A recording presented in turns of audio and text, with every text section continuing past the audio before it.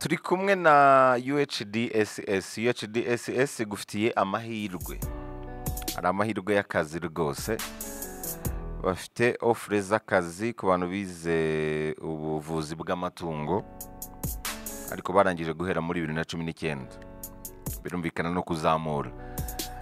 Iyo bakuboneye akazi wishyura ari uko wabonye akazi. Baba bafitiye ofure z'akazi gatandukanye mu bihugu birimo Polande, Hongria, Lithuania, Czech Republic, Macedonia, Slovakia, Albania, Croatia, Serbia na Montenegro. Baba bafitiye akazi muri Canada ku bantu bavuga igifaransa. Iyo ufite bachelor degree kuzamura ushobora no kujyana na famiye yawe. Iyo ari high school gusa ushobora kugenda wenyine. Ku bantu bize ibijyanye na hoteli ndetse n'ubukerarugendo baba bafitiye internship mu Bufaransa aho baguhemba amayero magana atatu mirongo itanu banagutunga. Ikindi baba bafitiye ofure zo kwiga muri Turukiya kuri full scholarship. Hakaba n'aho uba wishyura amadolari magana mirongo itanu kugeza ku gihumbi. Ubwo ni ku mwaka na byo bigaterwa n'ibyo wiga ukiga unakora hari na ofure zo kwivuza hariya muri Turukiya. Baba bafitiye ofure zo kwiga muri Canada nta mafaranga y'ishuri wishyuye. Mbere nta na language proficiency utanze. Hari na ofure zo kwiga muri Germany mu Budage. Kuri full scholarship ku bantu bafite German language certificate. Abantu bize nyine ikidage. Iyo utayifite iyo certificate bagufasha kuba wakiga ukayibona. Hakaba na ofure zo kwiga muri Canada ku nguzanyo kandi nta bank statement watswe. Hari na ofure zo kwiga muri Canada ku bantu bafite kuva ku myaka itatu kugeza kuri cumi n'umunani bakajyana byibuze n'umubyeyi umwe muri Canada kandi abana bane bakaba bagendera kuri bank statement imwe.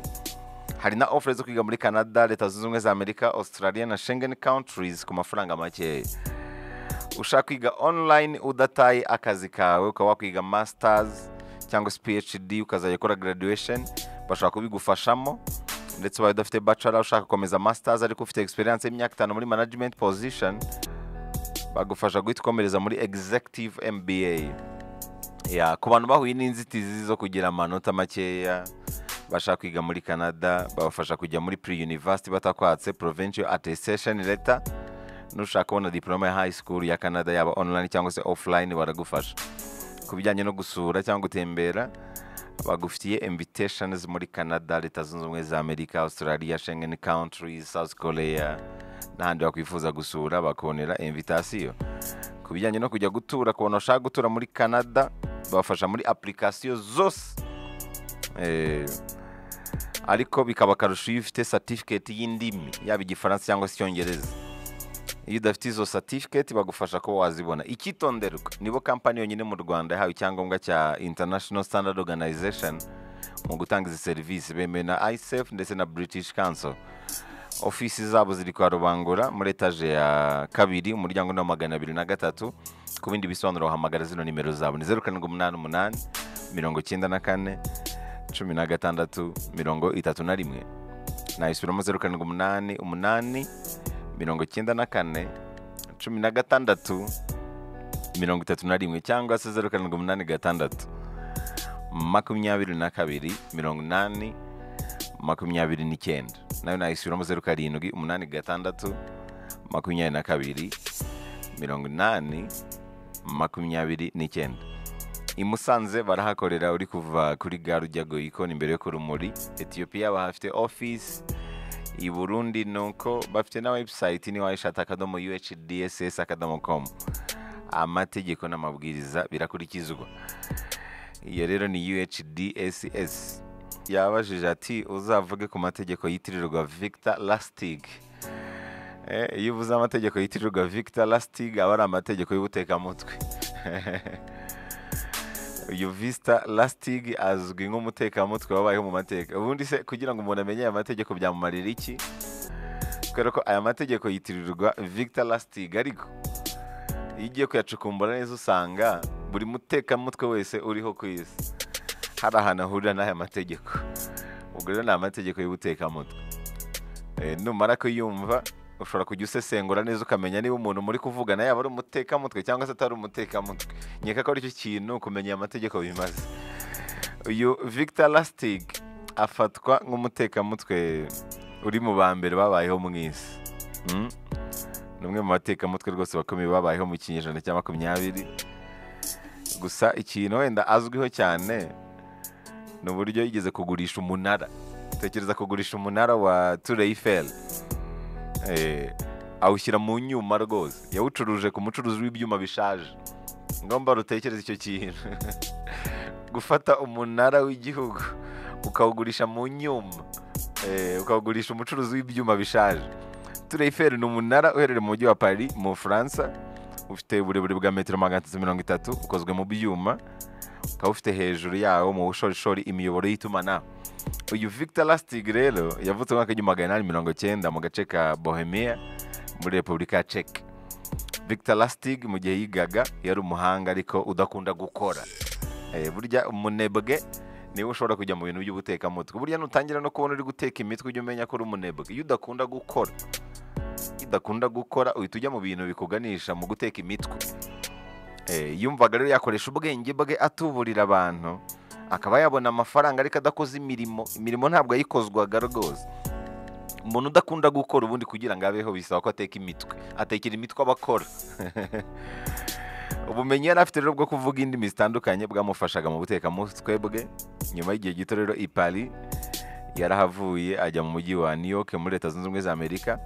Tour Eiffel rero nk'umunara wari waratashywe mu imurikagurishwa ry'isi mu mwaka w'igihumbi magana inani mirongo inani n'icyenda wari utangiye gutakaza abawusuraga. Bituma rero abawuvuga nabi biyongera. Urumva wari utangiye kubura abakiriya abantu batangira kuvuga uwo munara nabi. Mu mwaka w'igihumbi magana cyenda makumyabiri na gatanu ubuyobozi bw'umujyi wa Paris bwari bufite uyu munara mu nshingano kuva mu mwaka w'igihumbi magana cyenda na cumi ntibwumvaga neza icyo bushobora gukora muri icyo gihe. Uwitwa Victor Lastig rero yasubiye gutura i Paris muri icyo gihe. Aza rero gusoma mu kinyamakuru amakuru yavugaga ku kibazo cy'ubukungu cyatumaga uyu munara utitabwaho nk'uko bikwiriye. Muri icyo kinyamakuru batangaga igitekerezo cy'uko ngo wagurishwa ukavanwa mu maboko y'umujyi Eh, muri make mu kuwugurisha ni ukuwukura mu bawurebereraga. Bakawukura mu maboko y'umujyi bakawushyira wenda abantu bikorera ku giti cyabo akaba ari bo bawucunga. Eh, ni nk'uko wafata se nk'iki? Ni nk'uko wafata nka stade amahoro ukayiha abantu bigenga batari leta ngo bayicunge mu gihe wenda hari hari ikibazo cy'ubukungu cyo kuyicunga. Muri icyo kinyamakuru rero bamaze gutanga icyo gitekerezo uyu mugabo Victor Lastig yashatse inyandiko mpimbano. Yemeza ko ari umuyobozi wungirije muri minisiteri y'itumanaho. Yohereje ubutumwa abacuruzi b'ibyuma bishaje mu mujyi no hanze yawo. Abatumira mu nama ari kubera muri hoteli yitwa Clio. Hanyuma muri mata mwaka w'igihumbi magana cyenda makumyabiri na gatanu abashoramari batanu bitabiriye ubutumire bwe. Victor Lastig wari wambaye neza abamurikira uko umushinga wari umeze. Umunara kwitaho biraduhenze cyane muri ibi bihe nuko yababwiraga. Mm?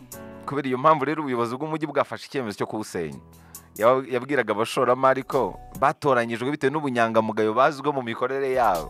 Muri kumva umutekamutwe twabatoranyije kubera ukuntu muri inyangamugayo yavuze ko uzatsindira isoko muri bo. Yari kuzatwara ibyuma bigize uwo munara nyuma y'uko usenywa kandi byose bigakorwa mu ibanga rikomeye.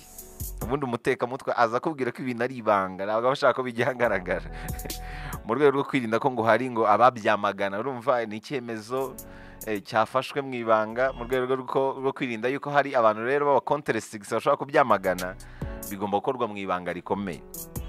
Yifashishije rero ikarita yatumaga yinjira mu munara abatembereza mu bice bigize uyu munara yashaka kubagurishaho. Mu gihe yamaranye n'aba bashoramari yarebagamo nyine uwashukika byoroshye kurusha abandi witwa Andre Poisson. Niwe yahise atoranya. Burya umutekamutwe aba akavuga ati muri aba bakire eh, uyu nguyu ni we ushobora gutuburirwa mu buryo bworoshye. Uyu rero umushoramari muto utari umenyereye cyane isi y'ubucuruzi. Eh, burya abantu bakuru abantu b'abasaza kugira ngo uzamutuburire biragoye. Hari igihe uza kumutuburira uri nk'uw'igihumbi. Eh, yaratuburiwe n'abantu magana cyenda mirongo icyenda n'icyenda. Ukaza rero wigize umutubuzi akakurahira eh, aho ifundi igira bya bindi. Nyuma rero iminsi mike bongeye guhura kugira ngo barangize ibyari bikubiye mu masezerano yabwiye uwari wegukanye umunara ko umushahara we utari uhagije ku buryo utatumaga abaho ubuzima yifuza. Ni ukuvuga uyu Victor Lastig yabwiye uyu nguyu wari watoranyijwe nk'uwegukanye umunara avuga ko nyine hari akantu wenda agomba kuzamusigira kubera ko umushahara we ntabwo rwose uhagije. Ntabwo utuma abaho ubuzima yifuza. Umushoramari rero yamuhaye ruswa ingana n'ibihumbi mirongo irindwi by'amafaranga y'ubufaransa. Eh, nk'umuntu wari wamufashe nyine kwegukana isoko rikomeye. Eh, kera kabaye rero andre poisson yaje kumenya ko yatekeye imitwe. Icyo gihe yabimenye victor lastig amaze guhunga yerekeje muri australia.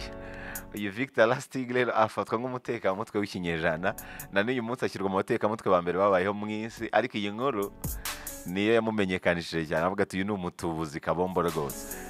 Eh, hari rero amategeko y'abatekamutwe amwitirirwa ayo mategeko niyo wifuje ko nakomozaho ndaje tuyarebere hamwe ntujye kure ahangaha ni mu nzu y'ibitabo. Ikintu cya mbere aya mategeko ashobora kugufasha ni ukumenya nyine ko umuntu muri kuganira koko ni ukwiyungura ubumenyi bwagufasha gusesengura neza ukamenya uyu muntu ni umutubuzi.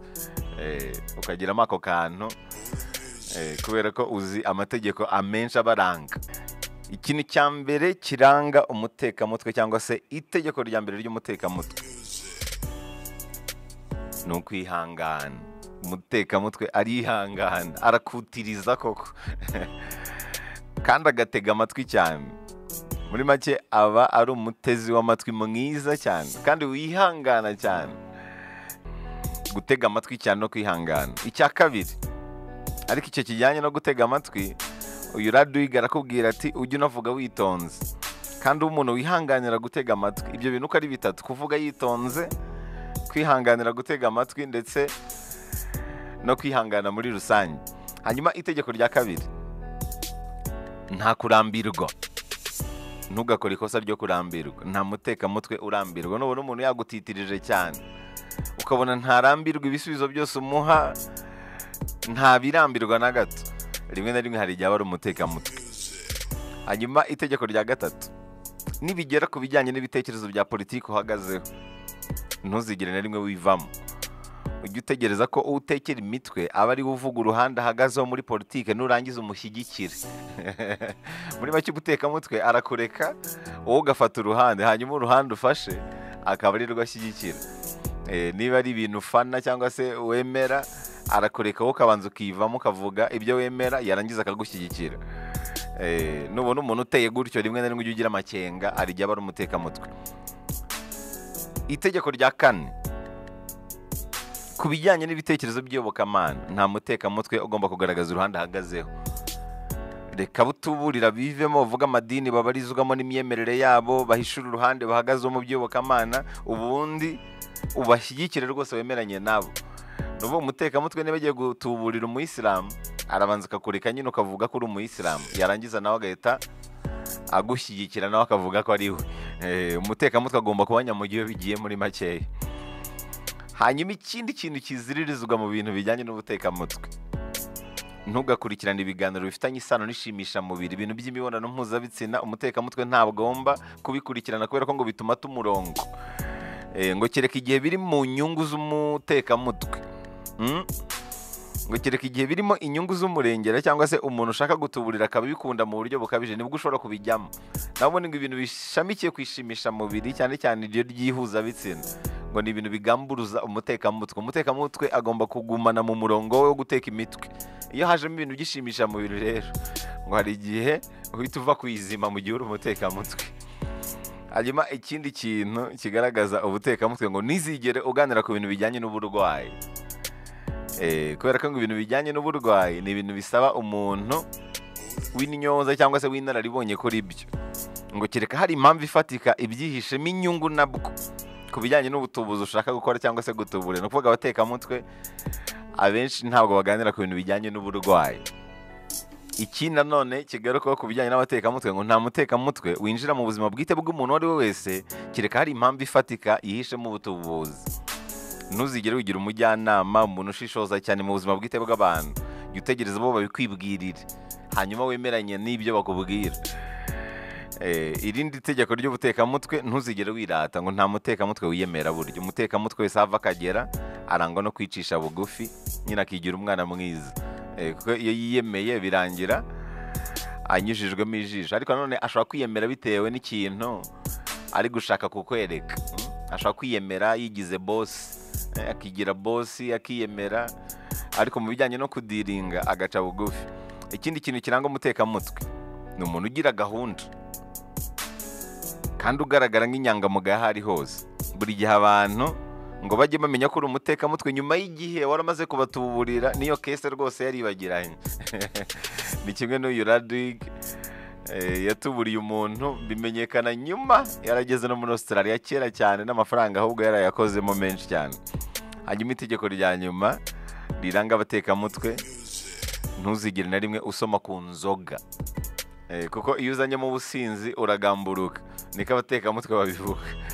Eh, nubona rero umuntu wujuje ibyo bintu navugaga haruguru rimwe na rimwe ujya ugira amakenga hari igihe aba ari umutekamutwe kubera ko muri aya mategeko yose ntihaburamo ay'abatekamutwe hafi ya bose bahuriraho muri make iyo usomye inkuru nk'iyi ni cyo kintu uba ugamije kwiga. Ese abatekamutwe bo batekereza gute? Ni ibihe bintu bibaranga n'ayo mategeko bagenderaho? Kugira ngo umenye n'abantu udiringa nabo mu bantu bose harimo abantu bose abeza n'ababi. Abatekamutwe n'abatari bo Eh, iryo rero ni ihame rikomeye cyane riranga abatekamutwe